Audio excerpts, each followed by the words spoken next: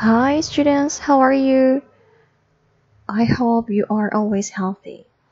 Well, today we are going to discuss about the city and the countryside.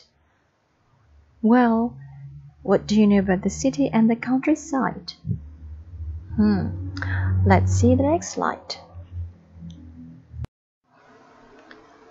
Alright, let's discuss about the countryside first. A countryside is a land not in towns, cities, or industrial area that is either used for farming or left on its natural condition. Look at the picture of the countryside. Okay, now let's continue. Mm, what things can we see in the countryside? Okay. Today we will learn some vocabularies related to the things in the countryside. Please repeat after me. Farm Farm Fields Fields. Forest. Forest. Hills. Hills. Mountain. Mountain. River. River. Lake Lake. Pond. Pond. Path. Path. Village. Village. Okay, now we move to the city. Look at the picture. What do you find in the city? Alright. Museum, library, movie theater.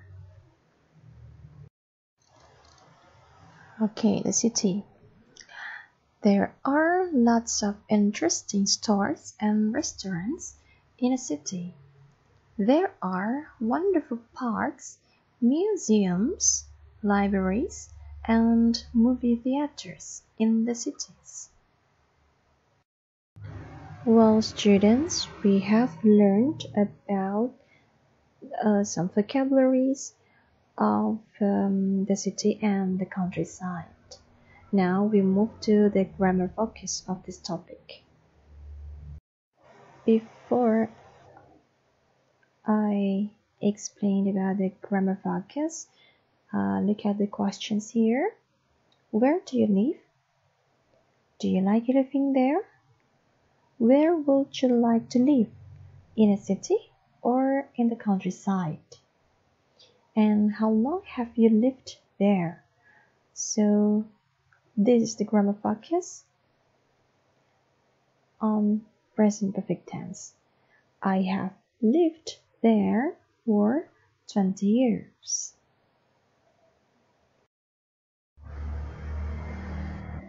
Okay, so the present perfect tense describes actions which have been completed or done. Okay, now let's move to the next slide. I will explain the form and the functions. and I will explain the form first. There are three forms. The first is affirmative or positive, the second is negative, and the third is interrogative. The first one is affirmative. Subject plus have or has plus verb 3. Okay, remember this form. I, you, we, they, or plural subjects like Cindy and Dina, Dina and I. so use have plus verb 3.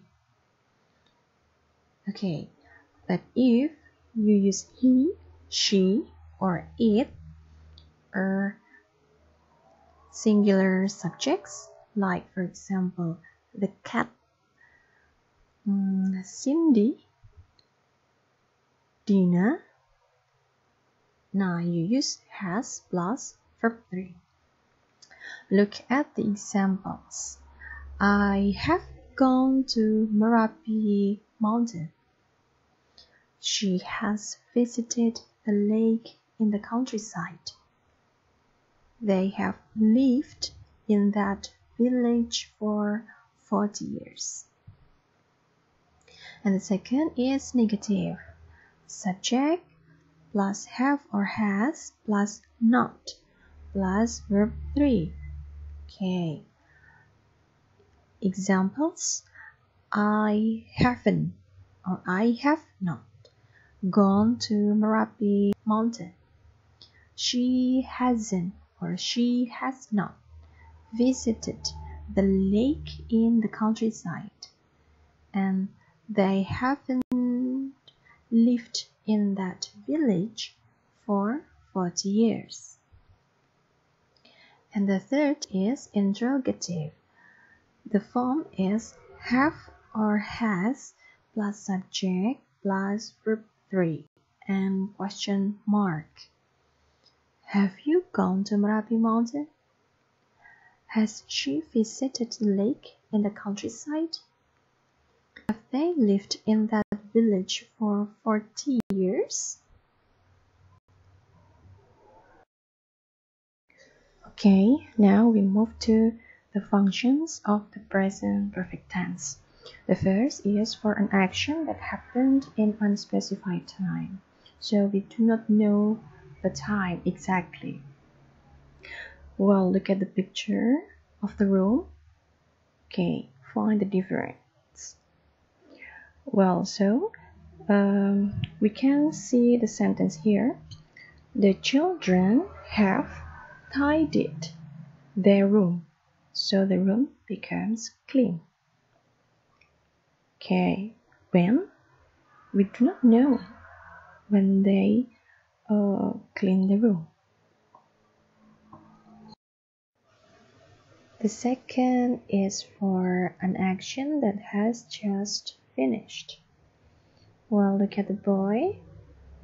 Okay, eating and then Okay, the first picture, Mark is having lunch, and the second picture shows that he has just had lunch.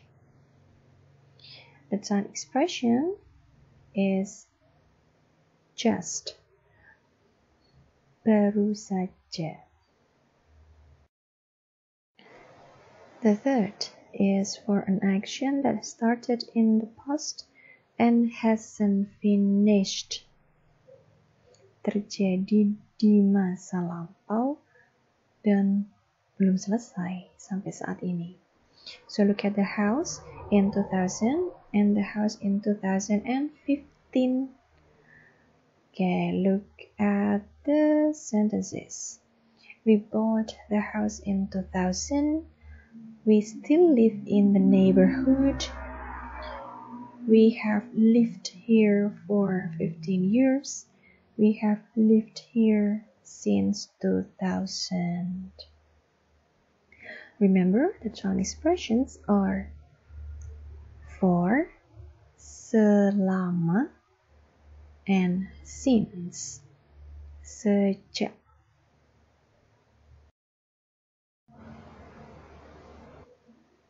Next function is for experiences we have or haven't lived.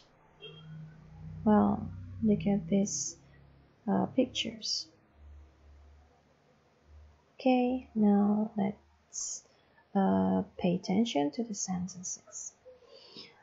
He has flown a plane, but he has never tried bungee jumping.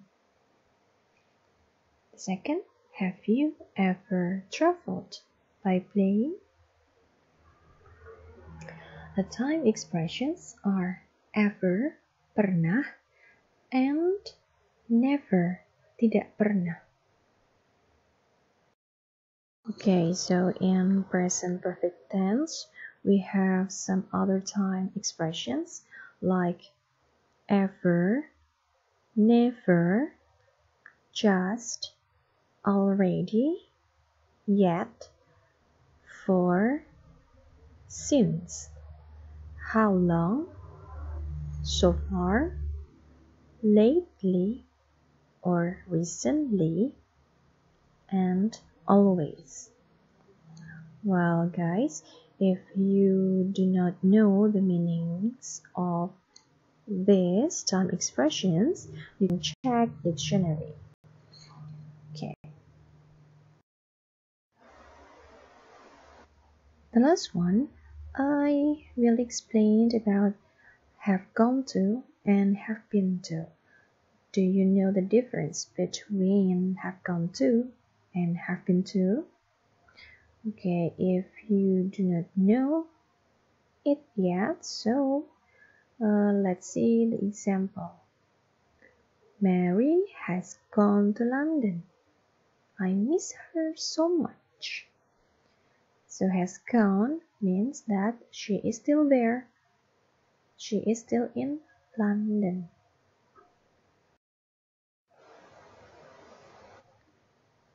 The next is have been to. Let's see the conversation of these two women. Have you ever been to London?